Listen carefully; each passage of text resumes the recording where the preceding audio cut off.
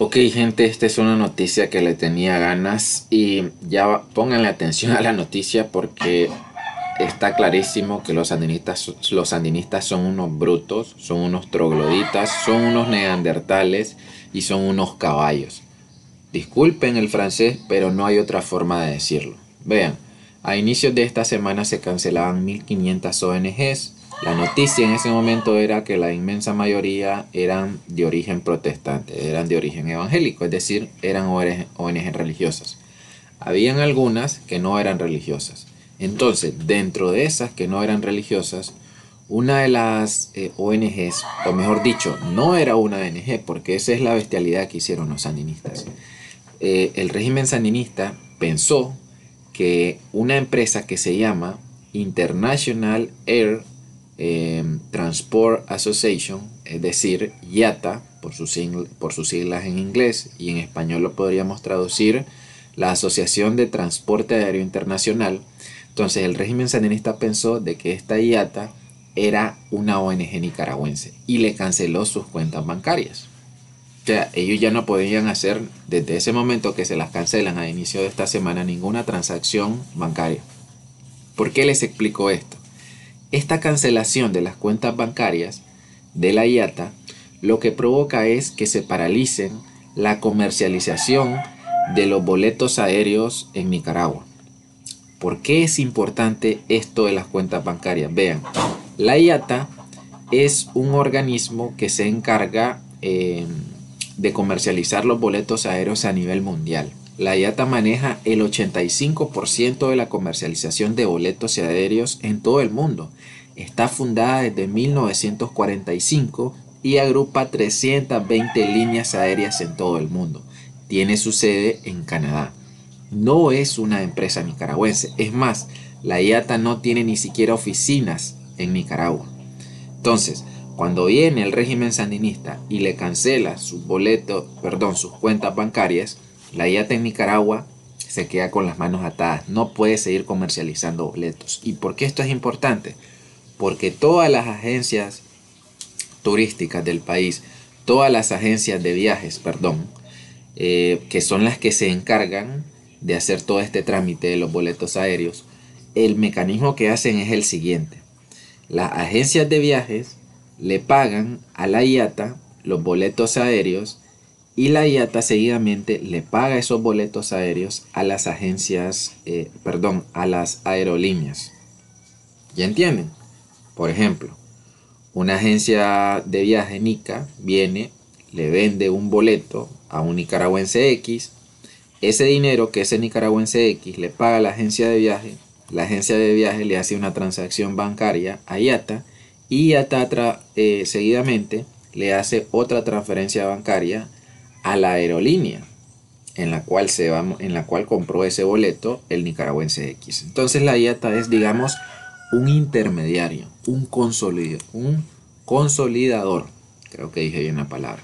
Entonces, eh, desde hace dos o tres días están paralizados eh, los la venta de boletos aéreos en el país. Hay un solo caos en este momento en las agencias de viajes.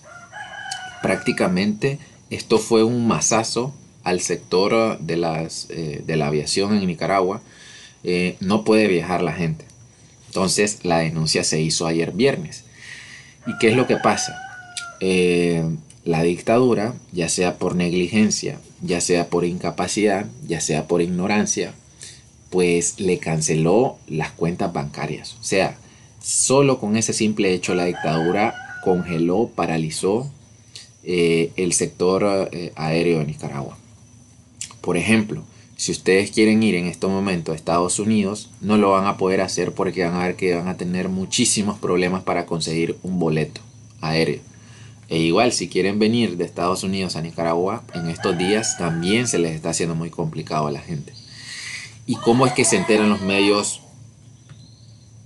perdón, los medios eh, sandinistas opositores de esto? Porque las mismas autoridades de la IATA que no hay en Nicaragua porque ellos lo único que tienen en Nicaragua son cuentas bancarias, le están informando esto a los medios opositores. Y nos congelaron las cuentas bancarias, hay un solo caos en el sector aéreo en Nicaragua, aquí está la denuncia, aquí está la información, por favor publiquen la noticia y tal vez la dictadura de su país se hace eco porque nos está haciendo perder millones y millones de dólares. Entonces, les quiero leer ahorita parte de la denuncia que se le hizo a los medios opositores. Yo me estoy haciendo eco de la prensa. Oigan, entre comillas, primero que nada es una tremenda estupidez esto que hicieron y denota una gran ignorancia de quien haya tomado esa decisión.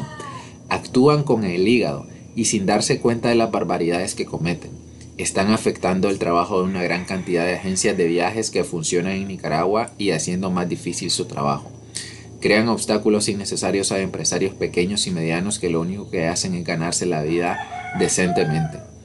Esto lo decía eh, un empresario del sector turístico. Eh, seguramente está en Nicaragua. Entonces, ¿qué pasa? En estos momentos, la IETA, em, esta Asociación de Transporte Aéreo Internacional, se está comunicando con las autoridades de la dictadura sandinista para ver qué hacen, para explicarles, hey, es que nosotros no somos una ONG, se confundieron. Somos una empresa transnacional que ni siquiera tenemos oficinas en Nicaragua, nos congelaron las cuentas y ahora hay un caos eh, en los vuelos aéreos en Nicaragua. O sea, imagínense ustedes. Y ahora viene el otro rollo. Eh, ¿Quién fue el que tomó esta decisión? ¿Quién fue el que hizo esto? Decir, hey, esta es una ONG, hay que, hay que congelarla, hay que, eh, para, hay que robarse las cuentas bancarias de esa ONG. O sea, el que haya dicho esto, el que haya dado la orden o el que haya hecho ese congelamiento, creo de que debería ser despedido inmediatamente por el sandinismo. O sea, porque no solo le hicieron perder millones a la empresa privada, a las aerolíneas internacionales, también a las agencias de viaje que tiene el régimen sandinista. Ustedes sabían que la dictadura está metida también en este rollo de los boletos de avión. Pues ni más ni menos, esta persona debería ser despedida porque le hizo perder también mucho dinero por el tráfico de migrantes africanos que pasan por Nicaragua y van a Estados Unidos. Y entonces ya no pueden venir a Nicaragua, a Nicaragua porque están paralizados los boletos aéreos. Por ahí se los dejo. Vean increíble eh, cómo esta gente logró llegar al poder. Eh, y después de eso, cuando logramos sacarlos del poder en el 90, regresaron otra vez en el 2006. O sea, me sigue asombrando la ignorancia de la generación que nos precedió a los que estamos ahora. Es decir, eh, todos esos que pudieron votar en el 2006, también en el 2011, que estuvieron del 90 al 2006 también viendo cómo Nicaragua florecía y sin el sandinismo. Entonces no les importó nada de eso y decidieron volver a traer al monstruo al poder. Pues ahí está su paga. Suscríbanse, comparten hasta la próxima.